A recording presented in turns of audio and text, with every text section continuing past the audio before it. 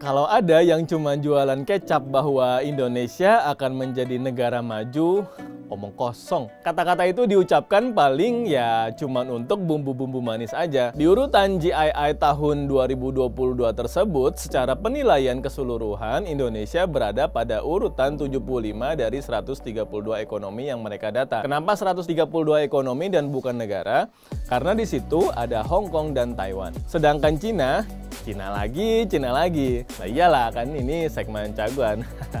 Makanya di Cina mereka punya 11.300 sekolah vokasi yang estimasinya sekitar 10 juta orang lulus setiap tahunnya. Tinggal pemerintah mereka aja tuh eh, sinkronisasi kurikulum sesuai dengan perkembangan zaman. Apakah kebijakan Menteri Nadiem Merdeka Belajar ini efektif untuk menjadi jalan pintas bagi kekurangan kemampuan vokasi dari SDM perguruan tinggi di Indonesia ya? Nanti presidennya ganti, menterinya ganti, kebijakannya juga bakal ganti. Mulai dari nol ya.